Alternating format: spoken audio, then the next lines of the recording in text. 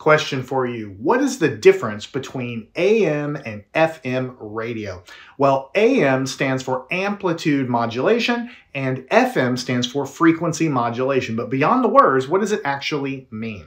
Well, AM, amplitude modulation, is represented in the top graph here. What it means is when I speak into the microphone and it's sent out into the air as an electromagnetic wave, the information is actually carried by changing the amplitude. The amplitude is the height of the wave. So you see how the wave is taller here, but shorter here and taller here and so on and so forth? So as I speak louder and more softly, that information is going out into the air as an electromagnetic wave carried by the changes in the amplitude in corresponding lockstep with the changes in my voice. Now, frequency modulation actually sounds a lot better for reasons we'll talk about, but it's basically carrying the information in not in the changes of the amplitude. Notice the wave is the same height all the time, but in frequency modulation, the frequency changes. So here we have a low frequency, and over here we have a higher frequency, and it gets a little bit more to a lower frequency.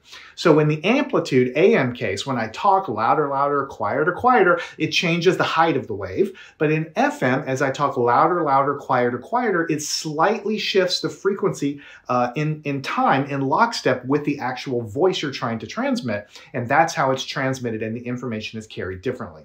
Now, what are the main differences? Well, AM radio can actually travel farther for reasons I'll talk about in a second, but it's much more susceptible to noise, so it doesn't sound as crisp or as nice. FM sounds a lot better, but it can only transmit for shorter distances, maybe 50 miles or so, whereas AM can go for 100 or 200 miles. And at nighttime, it can actually uh, very effectively bounce off of the ionosphere. The AM frequencies are low enough to be able to do that, so they can go up to maybe thousand miles. And basically, there's a plasma layer called the ionosphere above the uh, atmosphere there, and that plasma reflects the low frequencies better than it reflects the high frequencies which pass through. Now, if you ever listen to AM radio, it just doesn't sound as good, especially like in a thunderstorm. You'll hear lots of uh, interference and noise. And that's because any electrical interference there, like a thunder or, or a, a lightning strike or something like this, will uh, produce electrical noise that will directly make the amplitude change on the carrier wave. And you'll hear that in your speakers. And so because FM doesn't operate that way, it's not so susceptible to that also because the AM can reflect off the ionosphere, it's a lot more susceptible to multipath interference, which you hear is that weird sound in AM. Now, everybody's heard of quantum mechanics or quantum theory or quantum physics. But what I want to do today is take a few minutes to try to talk about the core ideas of this theory, what sets it apart from regular physics, and what makes it so weird. Now, in our everyday experience growing up, we deal with baseballs and footballs and automobiles and airplanes and houses, very, very large objects. Even the smallest object that you've ever had has held trillions of trillions and trillions of these things that we call atoms. So our everyday experience with how these objects behave is basically how they behave when there's trillions of them next to each other. But when you zoom in at the microscopic level, at the quantum level, then what you have is a situation where the behavior begins to differ from what we see in everyday situations to how individual atoms and individual electrons behave, and that's quantum mechanics. Now, probably the number one thing that sets quantum mechanics apart is that every piece of matter, whether it's an atom or an electron or a neutron, and also every piece of light, like a photon, a quantum of light, something like this, they all have what's called wave particle duality. They have aspects of a wave like nature and aspects of a particle like nature at the same time. Now, in the early days, people knew that light had a wave-like nature because what they would do is they would take the light, they would run it through a prism, and then they would split it into the rainbow, and they would take the colors and they would smash them into each other, and they could see that the crest and the troughs would line up and either cancel or reinforce each other, producing these interference patterns. And so we know that interference patterns come along with the nature of light. So we know from a long time ago that light has a wave-like character. And at the same time, time, we started doing chemistry experiments and figured out that everything is made of atoms, which looked very particle-like because we could do experiments where we could throw these electrons or protons at various targets and we could see their particle nature. But then something weird happened. We started doing experiments with light where we could see that light only comes in discrete chunks, quantized chunks of energy like a particle.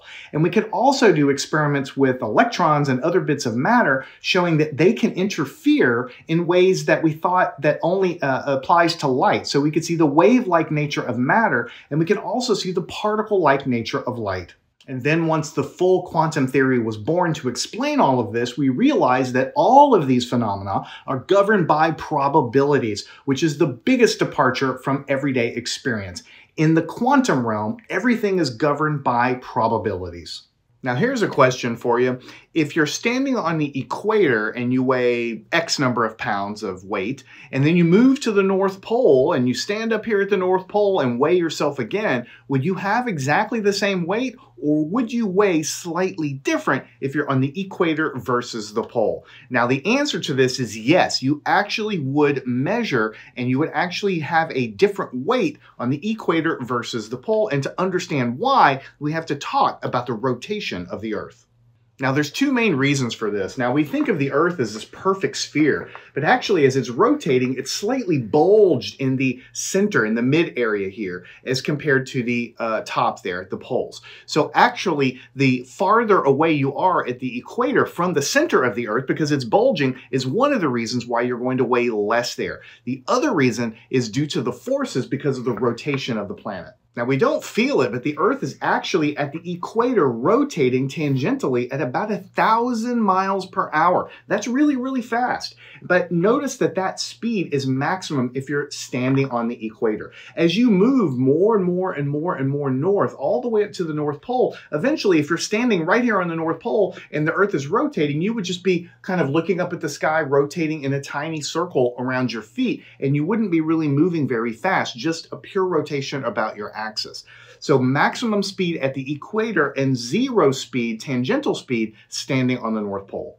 So as we're riding around on the surface of the planet at the equator at thousand miles an hour, we have a constant tendency to want to travel in a straight line away from the surface of the planet. That's the law of inertia. And so what that means is we're tending to be flung away from the planet all the time. Now, this tendency to be flung away from the planet shows up as what's called a fictitious force, called the centrifugal force. It's not a real force, it's just the tendency of everything to travel in a straight line away from the surface of the planet, trying to be flung away. It's highest at the equator because the rotational speed is highest at the equator, and it's zero at the poles of the planet. Now, this counteracting force opposite of gravity tends to make you feel lighter at the equator. So a 200 pound person measuring their weight at the poles would actually be about 5% lighter or about 199 pounds at the equator. Let me share with you the number one math skill that you will use in everyday life, the most useful thing that I know about math. And that's how to rapidly calculate percentages in your mind. You use it when you're at the restaurant for a tip. You use it if you're paying sales tax on a vehicle or a grocery bill or anything else. You use it all the time to estimate things. I'm going to show you how to do it in your mind. So first you have to start with being able to calculate 10% of anything. 10% is super easy. If you have, for instance, a $80 bill and you want to know what 10% of 80 is, all you do is you take that decimal point, which is after the zero in the 80, and you move it uh, to the left. And so that means 10% of 80 is 8. So 10% of $80 is $8. What about something like 30? $30. What's 10% of that? You just move that decimal point, or 10% of 30 is $3. And it also works with uh, other decimals as well. What about $2.50? You take that decimal, move it one spot to the left, and that's 0.25 or 25 cents is 10% of $2.50. All right, now here's where it gets useful. Let's say you have to calculate a 20% tip, but the bill is $40. So you don't calculate 20%. First, you calculate 10% and then you double it. That would be the 20%. That's how percentages work. So let's say the bill was $40. 10% you rapidly do and say, well, that's $4. 10% of 40 is $4. But I want a 20% tip, so I double it. So that's $8. So 20% of $40 is 8 and that's the amount of tip that you give. But let's say you want to give a 15% tip instead of a 20% tip. What do you do? First, go back and calculate 10%. So if your bill was, let's say, $60, 10% is $6. But 20%, doubling it, would be $12. And so somewhere between 6 and $12. That's going to be $9. So that's going to be a 15% tip on a $60 bill. This also goes for sales tax. You can estimate. Sales tax for me is about 8.25%. That's difficult to calculate, but it's pretty close to right between 5 and 10%. So let's say your bill was $20. Uh, 10% of that is going to be $2, and 5% is going to be $1. And right in the middle is going to be $1.50. That's going to be pretty close as an estimate to your tax. Now here's a question for you. Why does a helium balloon like these float up into the air, whereas a regular balloon made of the same rubber filled with air sinks? And the same question applies to a hot air balloon. Why exactly does it float up in the sky? Well, the reason that's always given for this, and the most basic reason, is you're taught that the density of helium, the gas called helium, is actually lower than the density of the air. And you're taught in science that when you have the density of a gas lower than the surrounding gas, it tends to float. But seriously, that doesn't really drive down to the fundamental reason. That's just a rule I'm giving you. Why is it that density of gases in kilogram per cubic meter, when it's less than the surrounding gas, why does that actually make it float? Where does the force come from? And it's the same exact thing for a hot air balloon. The air inside of this balloon is heated. So when things get heated, they tend to expand. So they have a lower density. So the same thing, when you heat this air, the density of the air inside that balloon is less than the density of the air just surrounding the balloon, again, providing an upward force. But why does that happen? So we can go one level deeper. You're also taught, when you get into physics class, that the buoyant force that happens on this object in a, a, surrounding fluid of air is an upward force. And that upward force is equal to the weight of the air that is displaced by this volume. So this balloon has a certain volume. It is pushing the surrounding air out of this space where the balloon is. And the weight of the air that is pushed out of the way, uh, out of the way is actually equal to the upward force on on this balloon. It's called the buoyant force. It's the same force you feel when you go swimming and you go underwater. You feel lighter because you're displacing the water and the weight of the water that is actually being displaced is equal to the upward force there. So the buoyant force is equal to the weight of the fluid that is displaced. But again, why? That doesn't explain anything. Let's talk about why. Here's the reason why. We live in this fluid called the atmosphere. It extends for hundreds of miles above us, and the atmosphere has a weight to it. All gases do, and they're pushing down toward the ground. So there's like a column of air with a weight, and on the top of this balloon is closer to space than the bottom of this balloon. So the weight of the atmosphere at the top here is slightly different than the weight of the atmosphere at the bottom because there's more air from the bottom all the way up into space.